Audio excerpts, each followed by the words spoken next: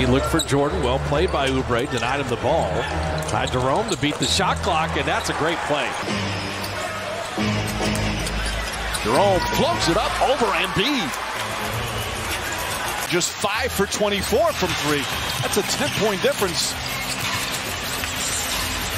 And Jerome back-to-back buckets. Oh, you're minus five points off turnovers, but plus five and made free throws. And Ty Jerome floats it in and foul. Score out of pick and roll, especially when Wiseman is setting the screen. Watch Walker Kessler. He's not going to bother that shot at all because he has to worry about Wiseman. You got to make sure they don't throw the lob to him. So now it's just up to Final minute of the third. Wow. He, he just getting it done right now.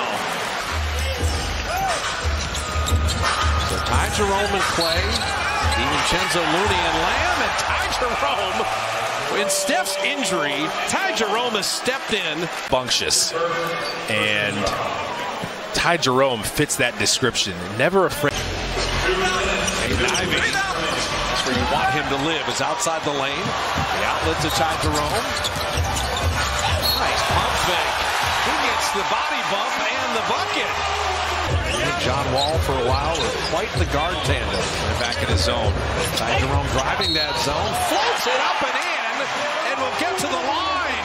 And Bradley Beal just got a little lazy with his closeout. Oh, I'm in his own. My teammates can back me up. No. And Wiggins switched on to Beal and just contained. Made a tough shot.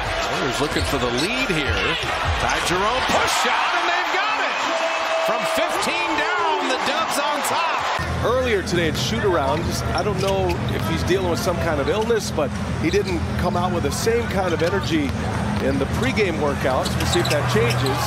Just something to to put on the marker.